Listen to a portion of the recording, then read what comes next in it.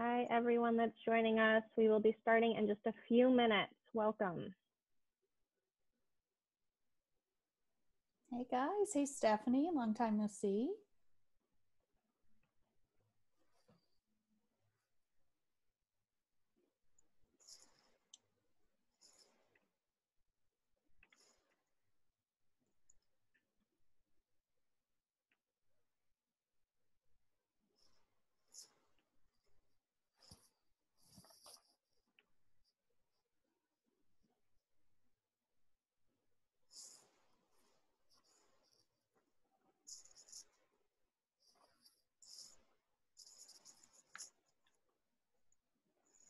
Beautiful day in Michigan. It's sunny, it's not too windy. It's like you The can't even believe it's January outside.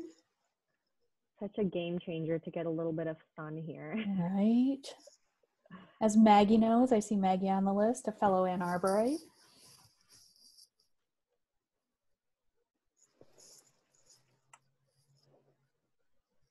Okay, we'll give it one more minute before we launch into our webinar. Um, welcome to everyone that's still joining us. Just hang tight with us for one more minute.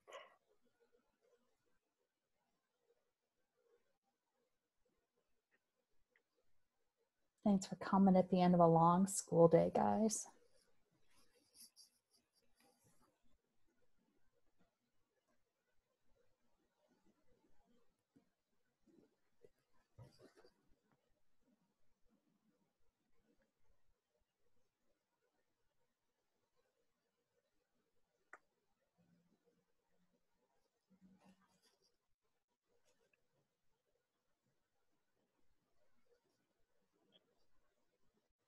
Okay, I think we can go ahead and get started.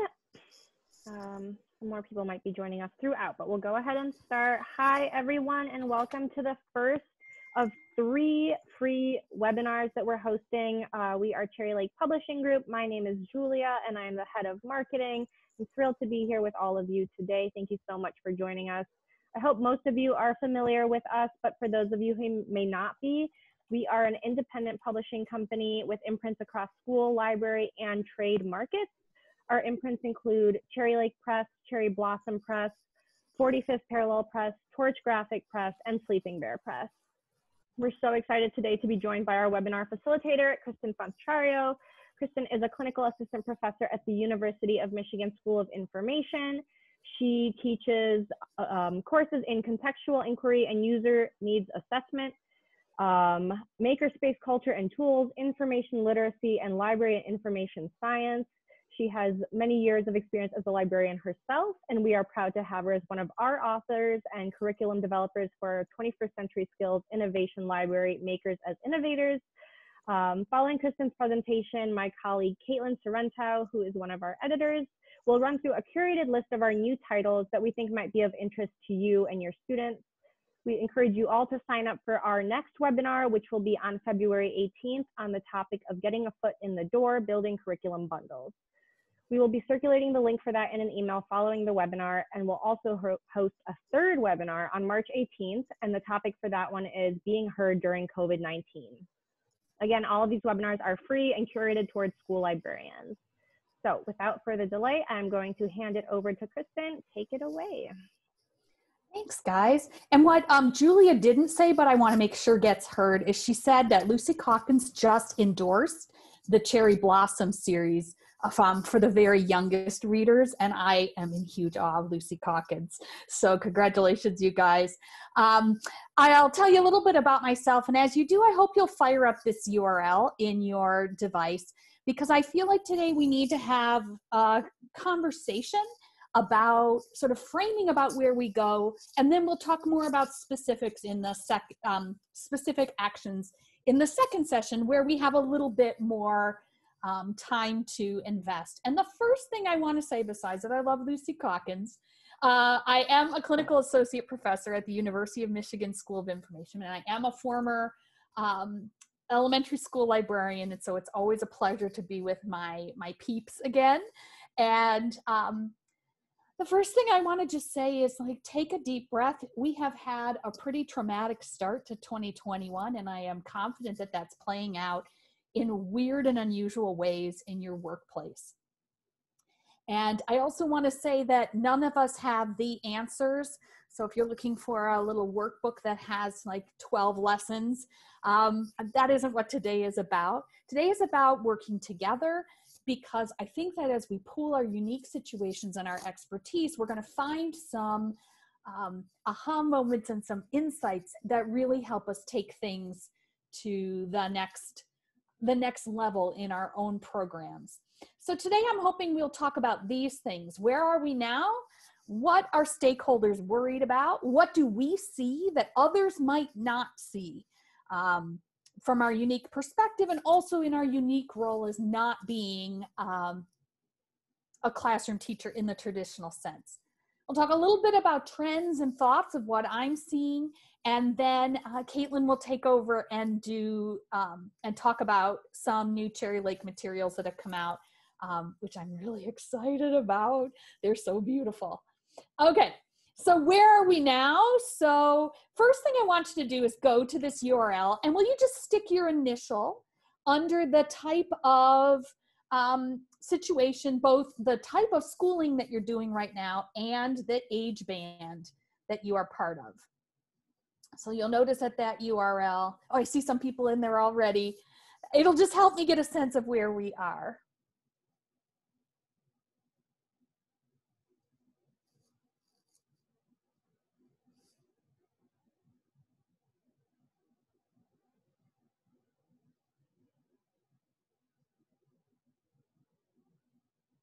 And by the way, just from a pedagogical stance, I'm a real fan of having, I think Zoom has some great tools built in for things like polling, but I find that having a Zoom deck and a, a Google Doc or a Google slide deck can help me have more interactivity with folks. And I hope that you are finding similar hacks like this that are working for you.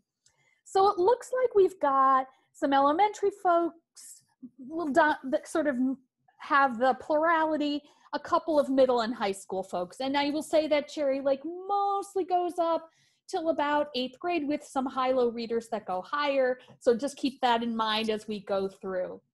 Um, and i the first thing i want to say is that people like me who aren't in libraries every day um, but spend a lot of time with school or public librarians are noticing that you guys are doing incredibly adaptive and innovative work. And the awful thing is that there's a parallel that's happening. Even though we can see how much adapting and innovating you're doing, what we hear from practitioners is that they don't feel good about what they're accomplishing. And I just want you to have a moment to sort of catch your breath and, and think about that the enormous changes that you have made to your personal lifestyle, your professional lifestyle, the lives of your students that you maybe have not taken the time to sit and think about because we tend to be detail oriented people, we librarians, and so we tend to see what we've not done well. And I want you to have a moment to really think about all that you have overcome. And um, I see Stephanie's on this this webinar, so this is from, uh, familiar to her. I know there's this term called surge capacity that is that is has to do with how much kind of trauma we can deal with. And it's sort of a, a well of energy that we can call on in sh- short-term stressful situations to survive. So things like natural disasters people can kind of be superhuman for a day or two. And what this author um, Tara Haelle says is yeah you can have that energy like to get through the three days of a tsunami. But the reality is, we have been in like an 11 month tsunami, and we aren't equipped as human beings to continue to thrive at 100% under um, under pandemics. And she described feeling this in her words an anxiety tinted depression mixed with ennui that I can't kick. And I have talked to lots of you who are feeling that way. And if you're not, I'm really thrilled. I don't mean to put you in a box. Um, but this sense of like, I just can't get myself to the next step. And that is because we are going through this period where you know, our ability to deal with a short term emergency has had to sustain itself over months and months and months. And for some of you, as you watch January or a new semester roll along, it just seemed almost unmountable, even though you're, you're totally used to it under normal circumstances. And Tara says in this article, why do you think you should be used to this by now? We're all beginners. It's a once in a lifetime experience. It's expecting a lot to think we'd be managing this really well. So give yourself some space and some humanity to realize that that these are very weird times. Um, here is I people who know me know I love the FRED um, government data portal. Look at what's happened with unemployment. How we got lulled into years of unemployment falling and how rapidly it spiked. And even though it's come down, we're not back to normal. And if we think about the families and the, the children and the teachers that we work with, we know that some people are struggling with this very bottom level of need. Will they have food? Will they have shelter? Will they able to be able to pay the electrical bill? And yet, what is the point of school but to get us to the top of the pyramid, which is this sense of self actualization and the ability to, for children to grow into uh, healthy and high functioning adults? And think about how some of the things in the middle of this pyramid, like friendship and and sense of connection are being strained in all populations in a school. And that's just assuming that all we were dealing with was a pandemic. And then we had January 6th, which no matter where you fell on the political spectrum was traumatic. And then we had the fears of the, the inauguration. I had a student yesterday who said she couldn't watch the inauguration because she felt this ominous sense would everybody make it through the day alive? You know that's not normal either right? Um, and this article in um, in the elemental page of medium gives us some advice on ways in which we can get ourselves rejuvenated at a time when we're still under impairment. And and i'll give you a second to look at all of them. And the ones in yellow are the ones that i think um, we can best address today. So i'll give you a, a second to look at that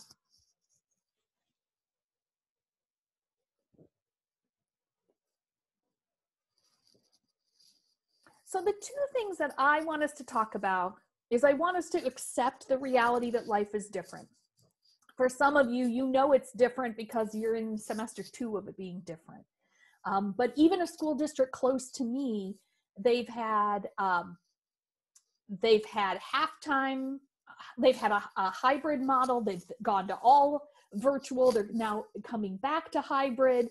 Um, even if you've accepted life as different life is still a new version of different from where it was before. And if you know me from before you might think this is very strange advice for me to say expect less from yourself uh, because i'm not a real expect less kind of person. In fact I, I think i usually push people to do more. But i want us to think about what it means not to do stuff of lower quality, but to shrink the amount of stuff we're doing and focus on what really matters. And that's sort of the lens I want us to take into this next this next sense. I feel like and if you if we've talked before, you know I'm into this word impact. And I feel like one of the ways we can think about being feeling successful and feeling productive at a hard time is for us to focus on impact as our measure, not did we do the book fair and did we have a poet come and did the politician read for reading month, but what is the end goal of doing things? So that we take our attention away from the need to be busy and we really laser focus when our choices are limited what are the things that matter the most and the reason I can't give you a prescription for that is because everybody is different and every school is different, right? But I do think impact comes from priorities. And I think that when we are in a stressful period, it can be even harder to take the time out to think about okay, really, what is really important this year? Is it cataloging? For some schools, yeah, getting a bunch of e-texts available is a high priority. In some schools that don't have an, an ebook um, transmission model, maybe cataloging waits a year. Um, so it's it's a conversation we have to have with ourselves.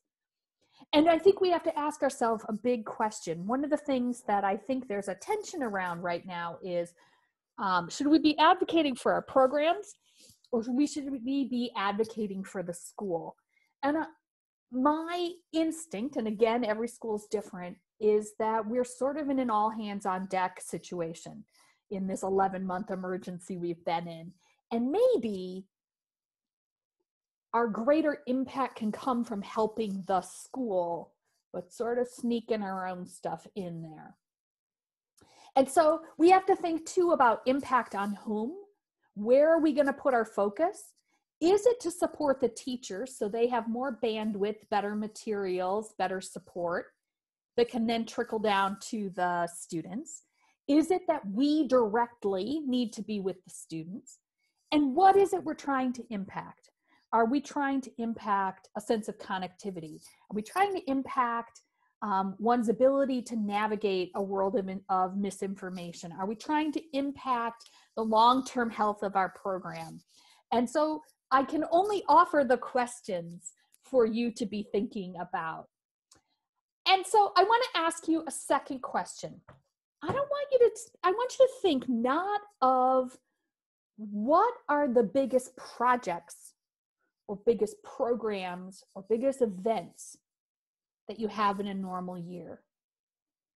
But like at the end of every year of, of mine working at U of M, I have to write about my impact.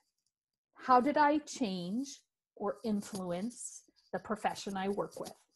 So I want you to do the same thing. If if someone called your school and asked your principal, where does this person make the biggest difference? What would the answer to that question be? So that's your second question back over on this same URL.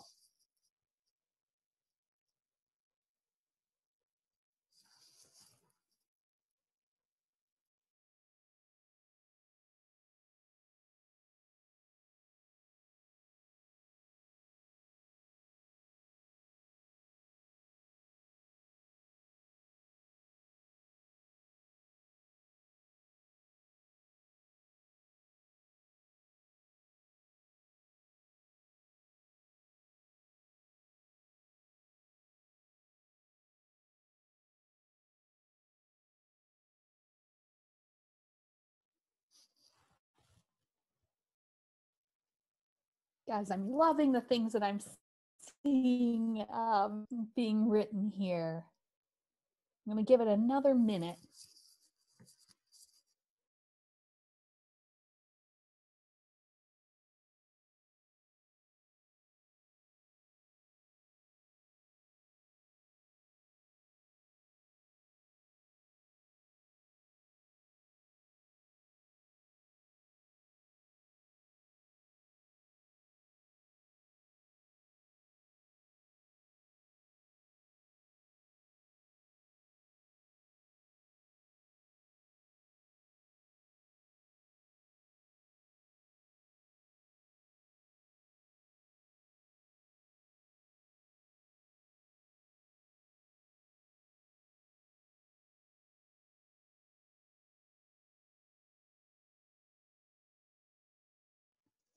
It looks like, and I keep looking down because that's where my phone is with my Google Doc open.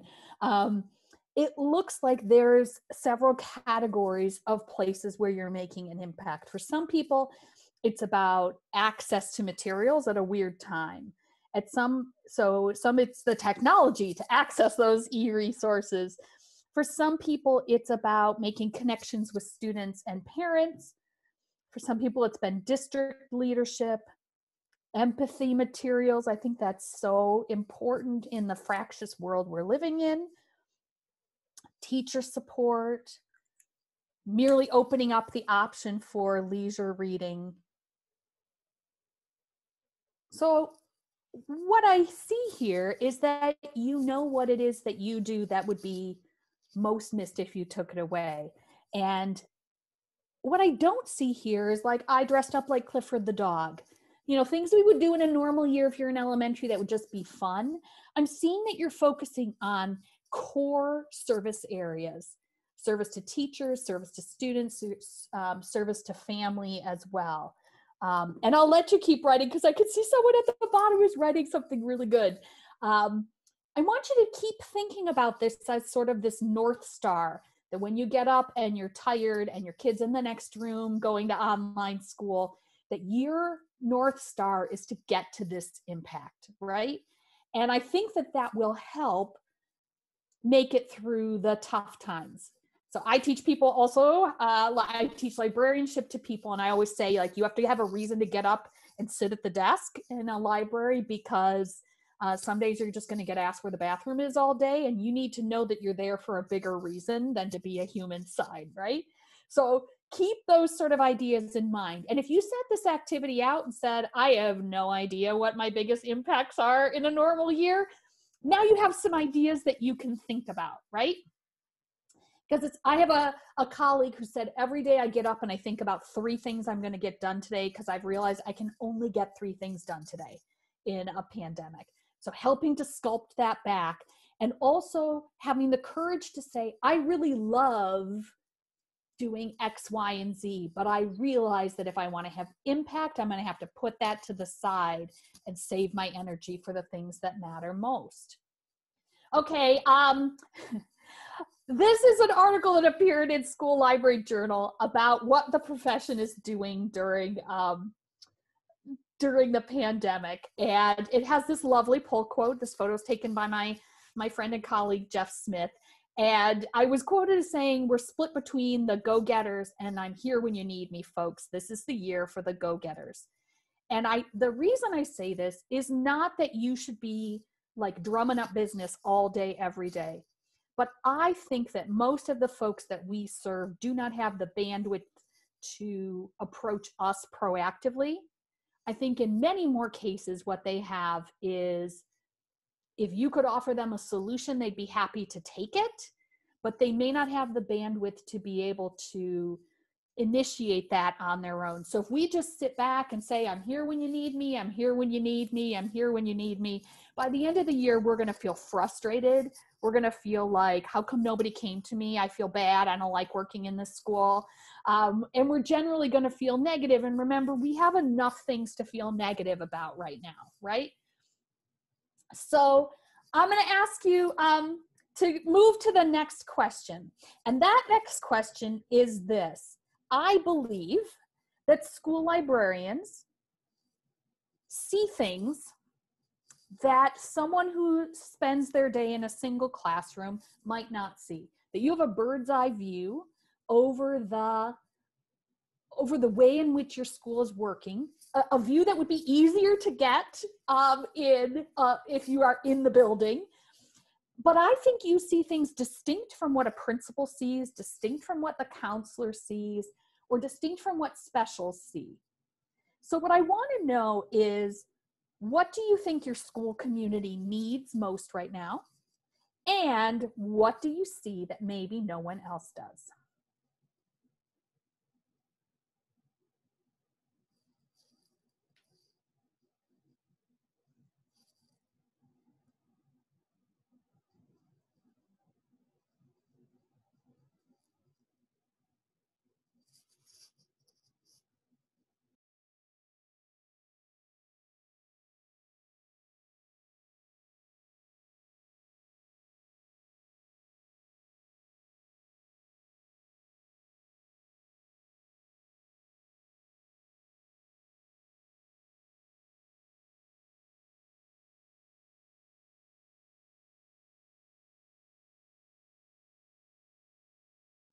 And as I'm seeing the answer, uh, the answers that are coming in for question three, I want you to actually take this, this view beyond the library. So not what does your school community need most from you right now? What do you see the community struggling with? So a much bigger issue than that. And it could be that, that what they need most is you and your stuff and your expertise but it may not only be that. What are you hearing the students complain about, the parents complain about? I always think it's weird that I was a K 12 teacher and now I teach with faculty members who have kids, and it's very weird to hear them talk about my old job. And I can say that, like, what they need is not to get so much email from school, for example. That would be an example of something to think about.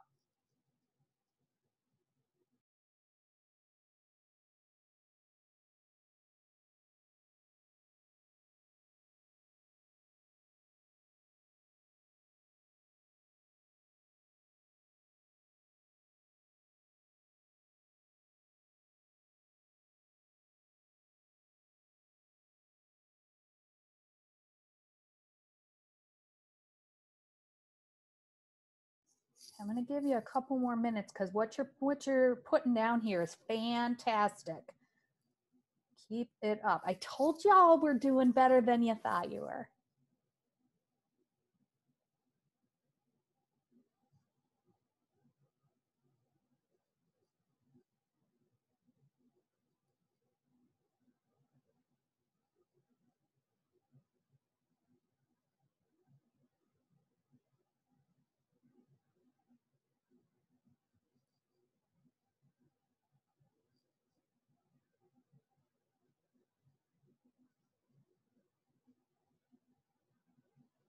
It looks like things are are calming down a little bit. So, um, gosh, these are just beautiful responses.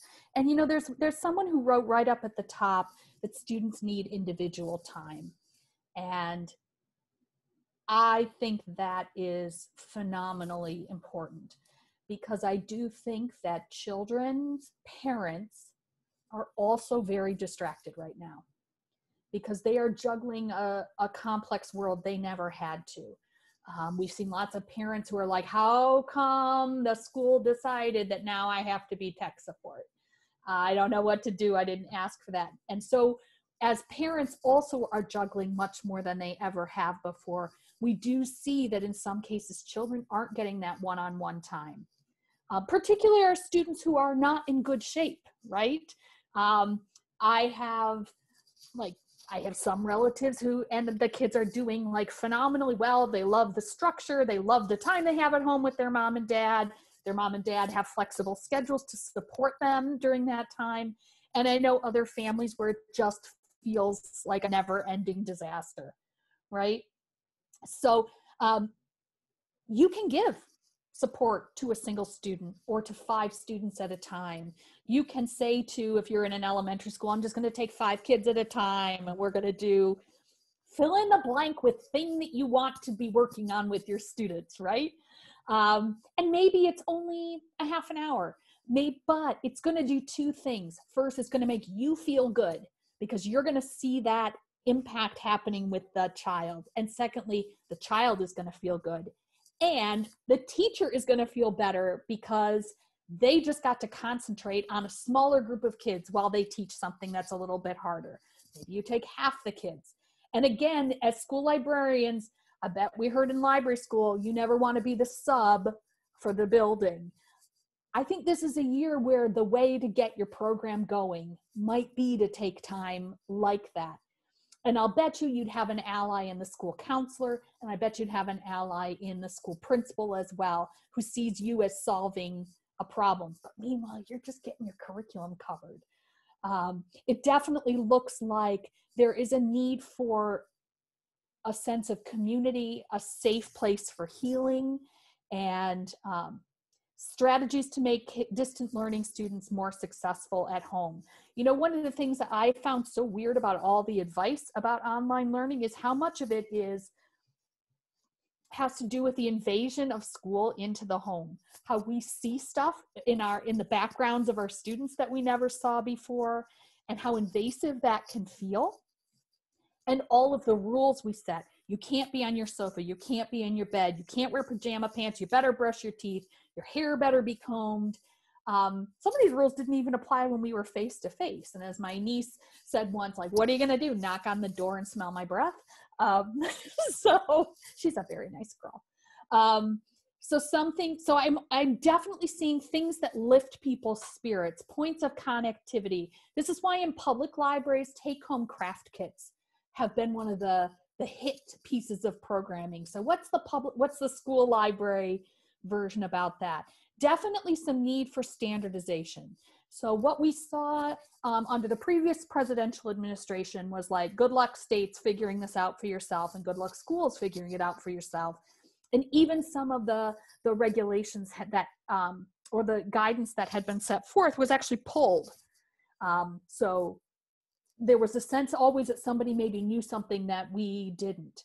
Um, so I, I i'm hopeful that there might be more guidance coming forward or that it will be more standardized i also know that in a lot of schools what we're seeing is like one parent begging you to have the kids full time all day every day and the next parent saying don't you dare get my kids sick by making them come to school all day every day so we have that tension as well um, i think this idea of being free of fear is a really beautiful um, sense, a place that you can feel safe. And we also want to acknowledge in saying that that um, some students feel more safe in a library than others do, right? Um, so we want to be careful about not just knee jerk assuming that everybody loves the library as much as we do.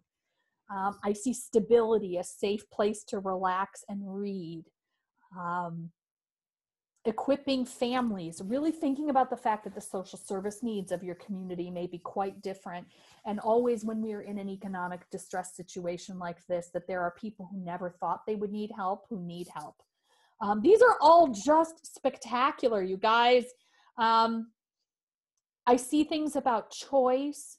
I see that you're seeing that that there's a need for this sort of third space. It's not quite home, it's not quite school, maybe it's the library and maybe it's fun maybe you're holding trivia night but also maybe it's just a time to be deeply immersed into something and to feel the pleasure that comes from that uh, i don't know how you guys are feeling about um, about your sense of of energy these days but it is harder for me to concentrate than it used to be and when i have like a whole like hour and I can just sink into my work, the pleasure that comes from that is fantastic.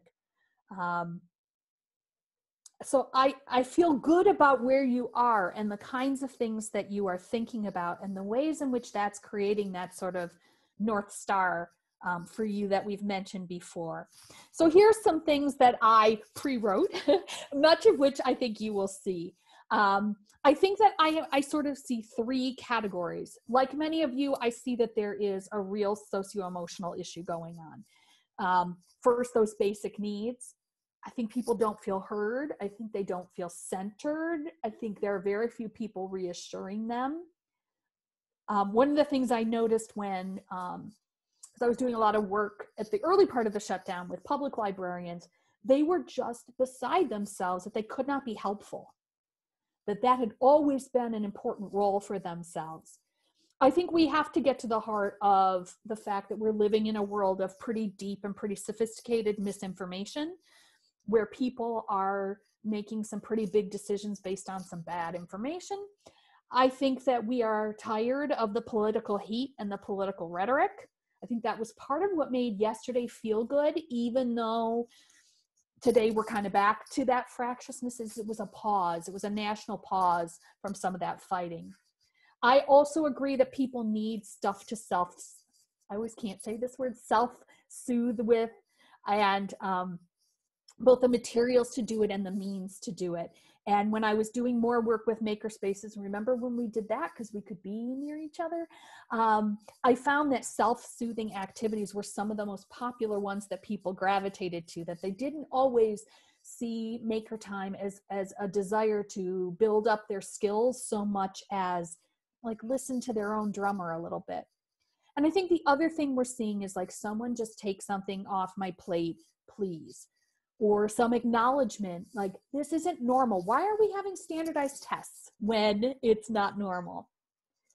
I see a second need which is that teachers in the classroom um, it takes so much more time to teach online than it does to teach face to face right? When you can just walk to the file cabinet and get out your sponge activity and that's harder to do um, both for your classes online and for students. So i think too anything we can do to to to winnow down resources into a small number of little jewels that are all set to be deployed online.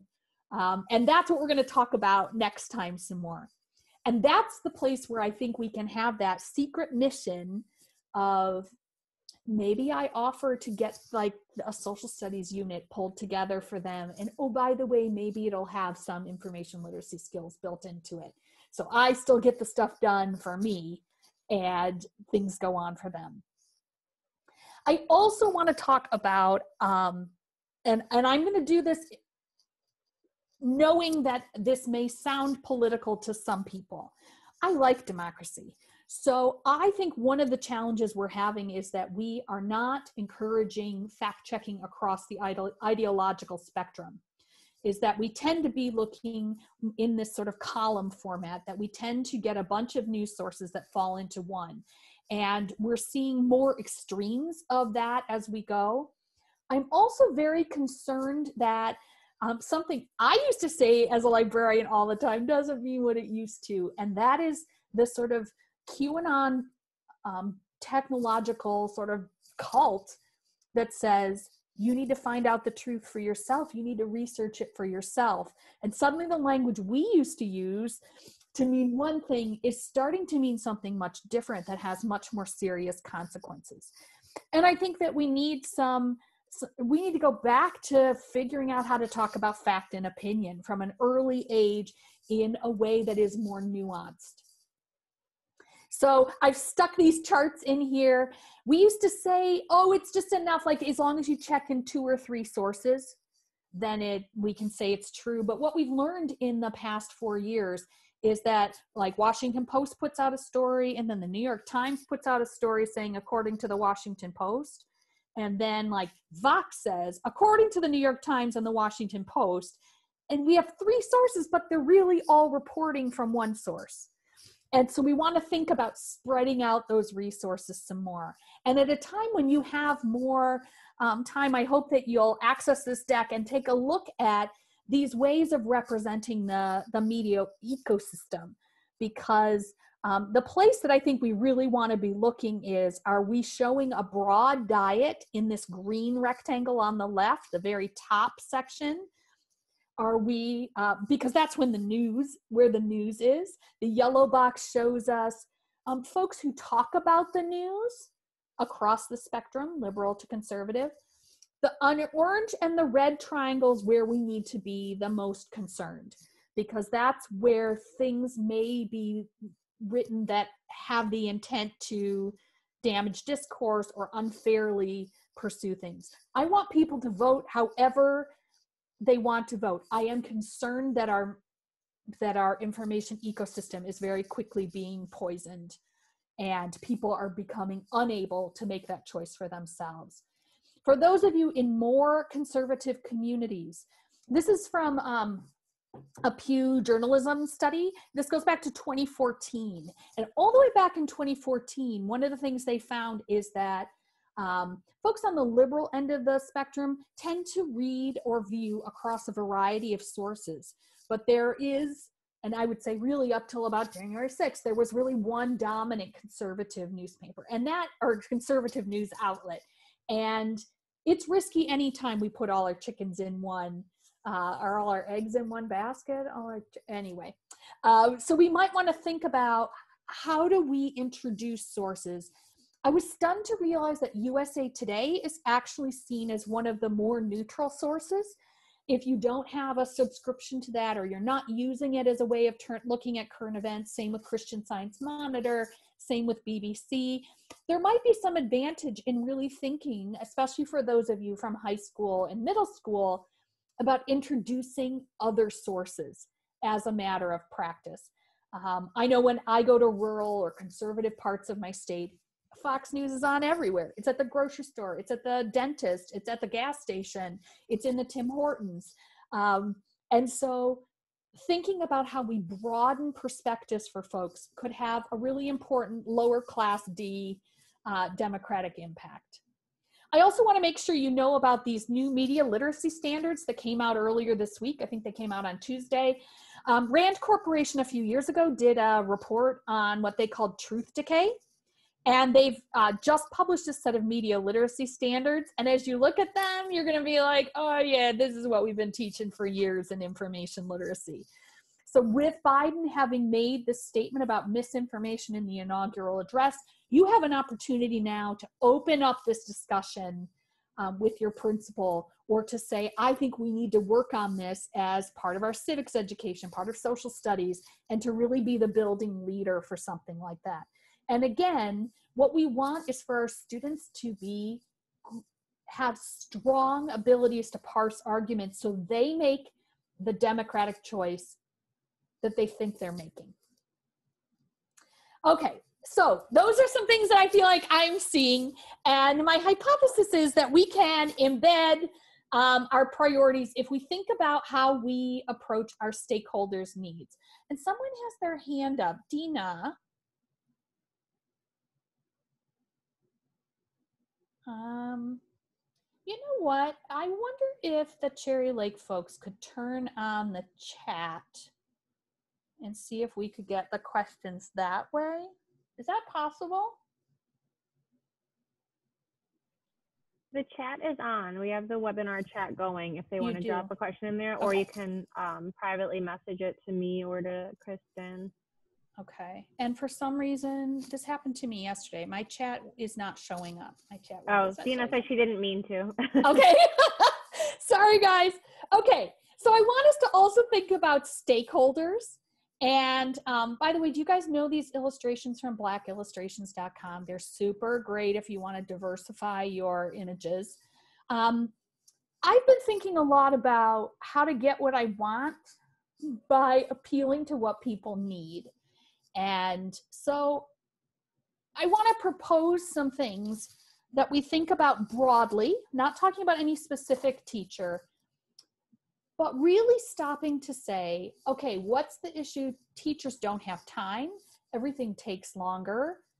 Transitioning to digital is hard, technology is hard, dealing with parents is harder because there's so many diverse perspectives of what they want. Not to mention that it's literally more expensive to work from home, right? Has anybody had their water bill or their utility bill go way up? So I think that's a piece of the puzzle. So I'm thinking if I want to have more of an influence in my school and I want to flex that impact, those are some of the challenges I want to think about connecting to and addressing. So I also want to think about these sort of values. Teachers tend to like consistency. They tend to like routine, especially if they're on an every other day hybrid face-to-face schedule. So me stepping into their classroom might disrupt that sense of routine, right? They want to feel competent. So maybe I'm going to have some luck um, doing some one on ones with them. And I also think that one of the best strategies we might have as a school librarian is to simply say, "Can I take the kids off your hand for your hands for half an hour? You teach what you've been meaning to teach. They get the break they need to call the parents, plan the lesson, or take on some of that other stuff." So again, I know I'm challenging that idea that um, we don't want to be considered subs. I just think we're like in the trenches now, and our rules might need to change a little. Um, and I also know that as a university person, if I have to be away from class, I might ask the librarian assigned to my school if they can teach that day. And I don't do it because I need a sub and I'm copping out and I don't respect the librarian. Now that I'm on the other side of things, I ask the librarian to do that because I know they'll do a good job. I know that they, as a librarian themselves, can teach librarians something important. So don't think when you're asked this, I think we've gotten a little bit too sensitive about um, how dare they ask me to do that. So they don't necessarily want to co-plan right now. They can't afford the time to do that. It's not about you. They want a very small set of resources, not a big set. And um, they might not want to hear about like, wouldn't it be fun if? Um, maybe on, that sounds fun if you'll just take the kids for a while, but um, but really, like if they don't have time to do the fun stuff, they might not want you to do it, and they don't want to hear that you have a curriculum too. So thinking about how we can get to teachers, similar with principals, and I see I'm I'm starting to get into my last five minutes of time they are just trying to keep the whole thing from falling apart, right? Like they're just running around with duct tape all the time. And um, they're battling the a staffing problem. In fact, a district near Ann Arbor basically said to parents, I know you want school to come open, and I literally don't have enough healthy bodies to do it right now. Um, and then he closed with a very nice idea that maybe you wanted to stay home over the holidays, right? So they're also dealing with extraordinary public health needs, and they didn't get any money to do it. And what do principals like? They want you to get along and not whine. Um, they care about student achievement. They don't want to put out fires. They want to brag about cool stuff, so make sure you tell them when you do it. And they don't want to hear that they suck because they don't have flexible schedule. And they don't want to hear that you only care about the library and not the school or the students. And they don't want to get between you all. So try to stay on their good side. And from a family perspective, you've already articulated uh, a piece of this puzzle. Um, the things that I will actually turn on, and oh gosh, looks like I got a little covered up um, when the slides shrunk down. I just want to focus kind of on the turnoffs. Do be aware that one of the challenges we're dealing with in low income communities is that as hard as it is to be a teacher, and I include librarians in this, you have it so good by comparison. So they don't always have a ton of sympathy because they're like, at least you get health insurance, or at least you get retirement. Um, and so some of that historic parental support for teachers um, we had a short honeymoon in March, April, May when they were like, wow, you teachers work really hard. And now they're kind of back to this. So we're living in a different um, political reality. I think there's some pushback that they are being told that teachers are going to decide what happens in their home. And um, I think that they resent being asked to pick up for what schools can't do, and they don't want to feel judged and i think they feel like you feel and i feel which is like i am doing the best i can to get through the day. Okay so i think because uh, i want to make sure we have enough time that one of the things we want to think about is that a way forward a way to that impact is to think about how we package the things we want to do anyway. And then we want to package it in such a way that the stakeholders want to hear it. So you want to do a research project, can you make it about giving them time, for example? And it also means that we really need to think for, and I'm thinking about all the notes that you guys left earlier, that they are craving relationships as much as you are. And this might be a time where we have a little bit more ease in our schedule to pitch in and not to keep close score of who's being fair or not fair. Okay, so again, here's the advice we were trying to address. Accepting that life is different, we cannot do what we always did before, and we're going to expect less of ourselves by focusing on the things that are really important. So what I hope that we will do next time is think about what does it look like to bundle up some resources for teachers that also carry underneath them our priorities and I'll have some ideas and I will be eager to hear yours as well since you've shown your hand at uh, the great ideas that you've already brought. But in the meantime, I am super excited um, at some of the things that Cherry Lake has come out um, with this year. And since they are the sponsors of this, they get the last few minutes. I particularly want to do a shout out though in advance to the social justice work that they have done in their publishing because I feel like there's a hole in people's collections and they stepped in at a fractious time and said oh okay kristin will you think we should do something about pre-release brutality? Okay we'll do it. Um, and so uh, i'm really excited that you guys get to see that shown off. So i'm going to log i'm going to close out for now but i'll keep an eye out for your questions and answers while caitlin is talking. Thanks guys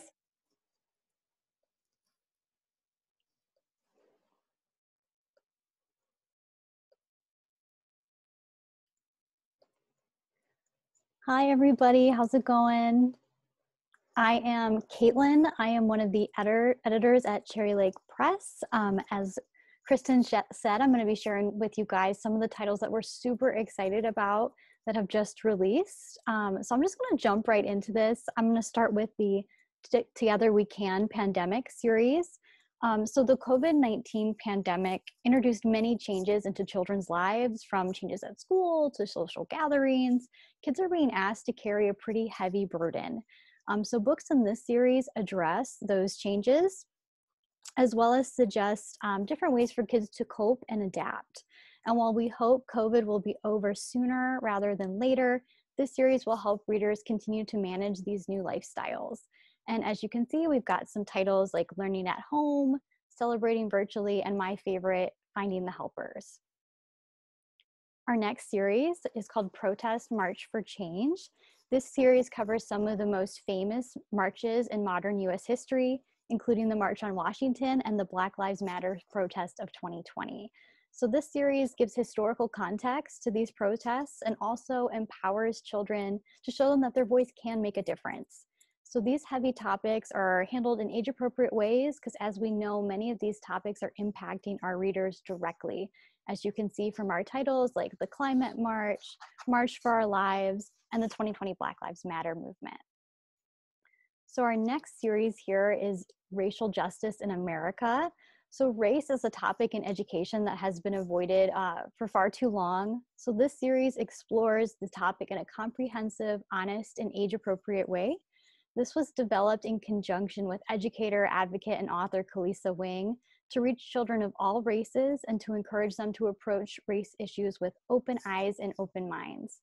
So each book in this series features Teaching Tolerance's social justice standards, uh, which is a framework for anti-bias education.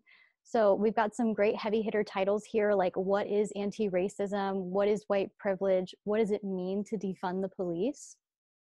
So both this series and our March for Change series are titles that we're super proud of. So we've rebound them and adapted them into a 48 page a trade picture book as a part of our Sleeping Bear Press learning initiative. And then to move on to our Sleeping Bear Press titles, first up we have June Almeida, Virus Detective. So this is the true story of the woman who discovered the first human coronavirus in 1964. Her groundbreaking work continues to help researchers today in the fight against illnesses caused by viruses, including COVID 19. So, apart from this being a great uh, biography about a little known female scientist, the takeaway of this book is a message of comfort and encouragement. There have been and will always continue to be scientific, environmental, and healthcare challenges facing our world today, but there are always experts working behind the scenes for answers and for cures. So, our next title I thought would play well to our audience today. This is The Lady of the Library. So, a ghostly lady haunts her local library, but when the library is scheduled for demolition, she wonders if her days of haunting are over. So, she teams up with a young girl and they work together with their community to save their beloved library. So, this is a lovely celebration of public libraries and a timely reminder of the important role they play in their communities. And to close out today, I have a teacher like you. So, teachers are always important, but um, during the COVID 19 pandemic crisis that we're in, they've been tasked with a Herculean job of keeping students engaged virtually or safe in person. If there's any year to thank a teacher, it's this year. So, a teacher like you is a loving tribute to the educators everywhere, thanking them for all the countless ways they encourage and support and care for their students, and just reassuring them that their impact is felt and it's going to continue to be felt for many years to come. So, what I love about this book is it celebrates all the everyday teachers, that includes parents, coaches, and librarians alike. Um, so, that's all for me today, everybody. Again, I hope some of these titles brought a smile to your face. Um, and thank you so much for your time today. And I will just hop on here to wrap things up. Thank you all so much for joining us today. Again, as a reminder, our next webinar, another free webinar for librarians, will be on February 18th. I did put the registration link into the chat box, so please register if you're interested. The third one will be on March 18th, so easy enough to remember, same time, 4 to 5 p.m. for both the upcoming webinars. Again, registration link is in the chat box. We will also be following up with an email if any of these books look interesting to you, or if you want more information, I'll send all of that in an email that will go out to all registrants. We're also still doing a giveaway as advertised for everyone that registered. So we'll be selecting winners for some great uh, giveaways, including Amazon gift cards, book bundles, fun things like that from us. Um, I want to thank both Kristin and Caitlin for coming on and presenting today. And I also want to again thank all of the librarians. We know your schedules are crazy. We know that everyone has Zoom drain going on these days. So we appreciate you taking that extra bit of time today to join us. Um, if you have any questions, please don't hesitate to reach out to us. Um, you know, you can leave final questions in the chat box right now, um, or don't hesitate to reach out to us um, via email or uh, check out our website for resources. We're on social media. Uh, make sure you give us a follow if you are as well and I think that covers it. Anything, any final words, Kristin? I would just add that you had Matthew Copiar's um, contact information. He's mm-hmm. one of the field reps. Mm-hmm. And I just wanted to, to stop and say he is a wonderful resource. If you are a new librarian or you want to talk to someone who can tell you sort of the beat of what's happening, I try to have that conversation with Matthew about once a year because he's really observant. He's a good listener to what you need, and he can often um, kind of bring you perspectives that you might not have seen in your own your own library. So just a shout out to Matthew. Awesome. Thank you. Um, and I saw a few people were asking for links for the books. Again, I will email that out afterwards so everyone has access to everything that Caitlin went over. I'm also going to try and get Kristin's presentation available to everyone that wants to see it. This is also a recorded Zoom, so we will get it online on our website and email that out. We're trying to give you as many resources from this as we possibly can. Um, so keep an eye out for the email. It will come from our Cherry Lake Publishing Group email account. Uh, thank you, everyone. Stay safe, and uh, we're so grateful that you joined us this afternoon. Take care. Keep fighting the good fight, guys. Bye.